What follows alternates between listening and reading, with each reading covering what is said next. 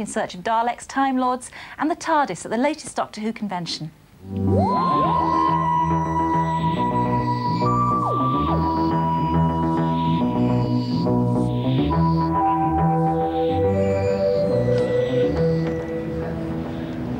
It's been 30 years since the first episode of Doctor Who was ever made, and there's plenty going on to celebrate. I'm here at a convention for the dedicated Doctor Who enthusiast.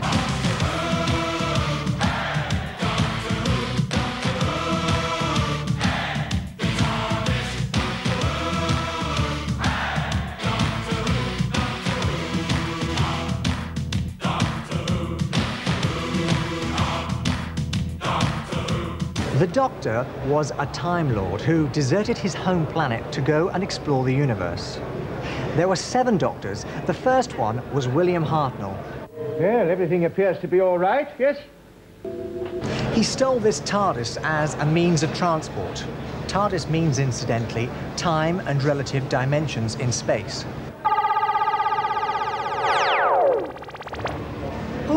Very large in here, isn't it? Ah, yes, we're dimensionally transcendental. We're bigger on the inside than we are on the outside. Which is very painful. Jon, what's it like to be back in the TARDIS? Oh, it's great. Well, Wonka, we're never away from it for very long. Why do you think the program has been and still is so successful? Uh, I think probably because people like to get the hell out of the kitchen sink and they like uh, science fiction. They go off into realms of fantasy, wouldn't you say? Yes, definitely. It's very gentle and very warm. Katy, I always felt, as Jo Grant, the assistant, that you were often the brains behind a lot of it, dare I say, but you never got much of the credit. You're always the assistant. How did you feel about that? I loved it. I mean, you know, I'd rather, if, if one's talking about being an actor, I'd rather be the feed than the Uh-huh. funny man, if you know what I mean. Right.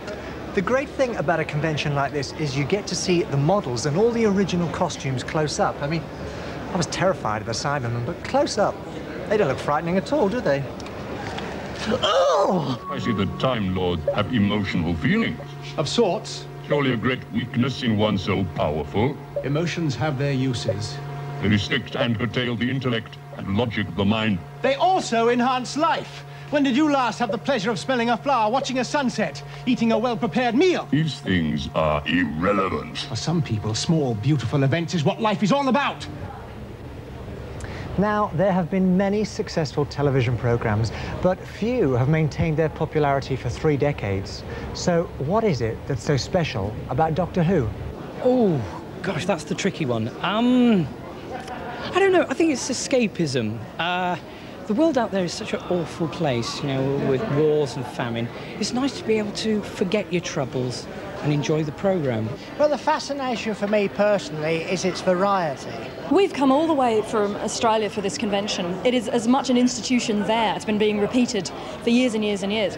It captures everybody on some level. It has within it something that everybody can relate to, and it's always moved with the times.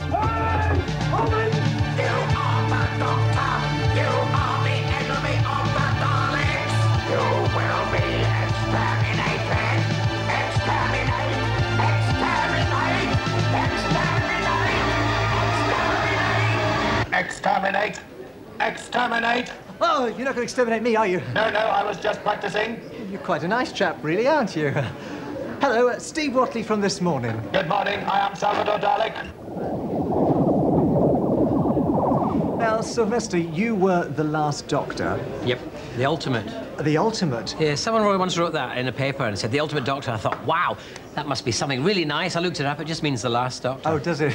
Well, it sounds good. That's what I said. But are you surprised the reaction you get from all these people here? Well, not now. I mean, I was surprised maybe after a year or so. I thought maybe it would uh, die down, but it seems to be getting stronger and stronger. So now I'm quite- I'm used to it in a way. And do you think they'll ever bring it back? Ah, yes, I do. I mean, there's absolutely no doubt it'll come back because television needs programs, and they're going to have hundreds of channels. They're going to have Doctor Who on one of them. If it comes back, would you do it again? Yes, if they ask me. If they didn't ask you, and they asked someone else who Yeah. was eccentric and uh, stylish, um, like yourself, do you think they would offer it to me? Well, you know, I hope not. I want the job. That's his opinion, but what do the fans think?